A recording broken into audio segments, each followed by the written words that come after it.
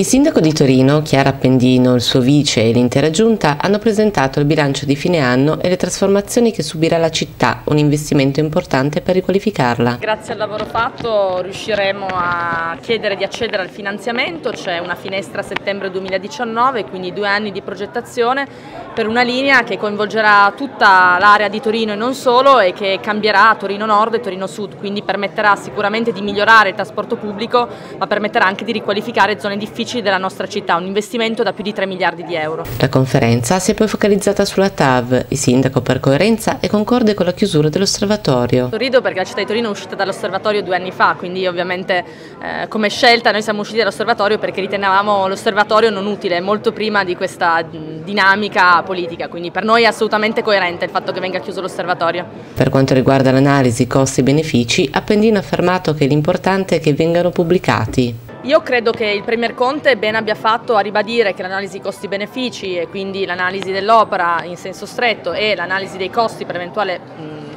chiusura o stop dell'opera eh, verranno pubblicati a breve e penso che sia giusto che si sia preso il tempo di venire sul territorio e condividere la scelta con gli attori coinvolti, quindi ci vorrà qualche mese e poi verrà presa la scelta definitiva. Una volta fatta l'analisi sarà il governo a decidere. Questa è una scelta ovviamente che eh, spetterà al governo e nei limiti dire, dei poteri che può attuare il governo.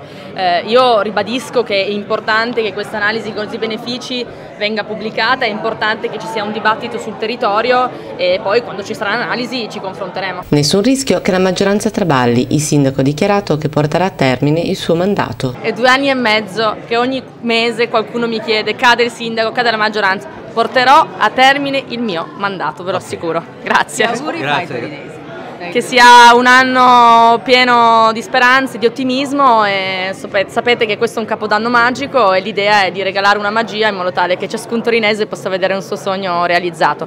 E poi il 2019, se devo dire un luogo fisico che vedrà la trasformazione, sicuramente Porta Palazzo perché la vedremo totalmente riqualificata.